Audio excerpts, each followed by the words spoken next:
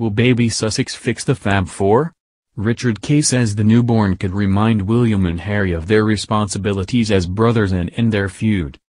As they strolled arm in arm with their wives on Christmas morning, William and Harry radiating goodwill, no one had any idea that their brotherly bond of affection had perilously gone missing.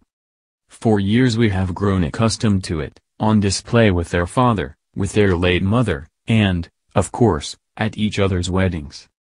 Standing together before their respective ceremonies, many found their support for each other as best man utterly touching, not least because both had moved from childhood into manhood without the guidance of a mother. Indeed, their mutual reliance has been an enduring and endearing part of the royal story. Which is why, just weeks after that Sandringham picture was taken, talk of a rift between William and Harry, coupled with murmurs that all is not well between Kate and Meghan, has been so upsetting for many people. But now the brothers have a new shared passion, fatherhood. Surely the challenges of being parents that both couples now face will help them overcome whatever differences they may have had. The princes are acutely aware of the importance that Diana placed in them looking out for each other, which is something she wanted them to continue to do all their lives. I think it has taken the awareness of the birth of Harry's first child to remind both brothers of their responsibilities to each other, and to each other's children, says one of Prince Charles's aides. Of course, it didn't help that stories of differences first began to emerge during 37-year-old Meghan's pregnancy. What was being said was that William had earlier questioned the haste with which his younger brother was wanting to marry the American actress. William, of course, dated Kate Middleton for eight years before giving her an engagement ring. Harry, on the other hand, had made up his mind almost immediately after being introduced to the star of the American TV legal drama Suits, a woman three years his senior, at a London dinner party. To William, advising caution was simply common sense. But Harry, ever sensitive, is understood to have interpreted his brother words, as well as those from others in his circle, as an implied criticism of his choice of bride. To some extent, this explains his touchiness in the run-up to last May's wedding at St. George's Chapel in Windsor.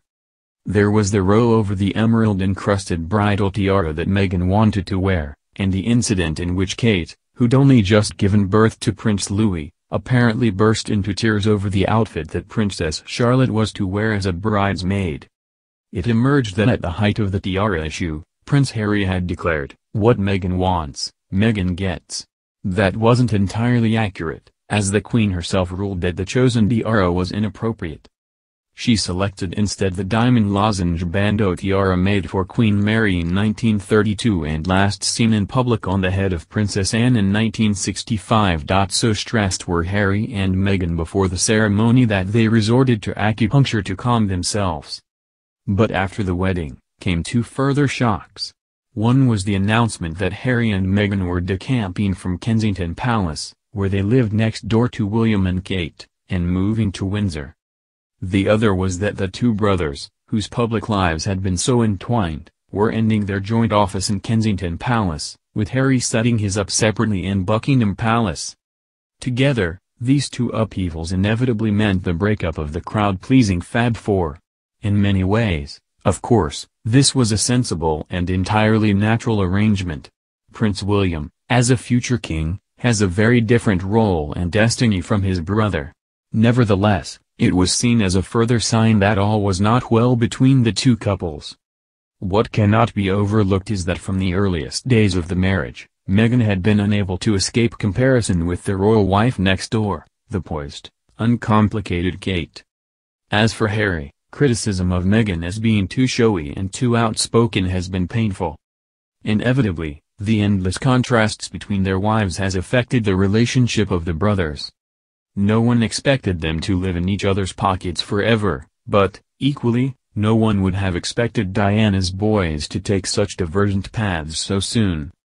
Yet it makes absolute sense that while William continues his lifelong training for the throne, the campaigning Duke and Duchess of Sussex may spend time in Africa, a continent that is close to both their hearts, as has been suggested.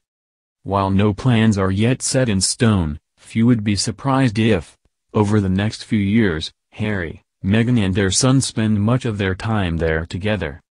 This natural split would enable William and Harry, and their wives, to grow into the meaningful roles that Diana always wanted for them. And I can report that a rapprochement is already underway.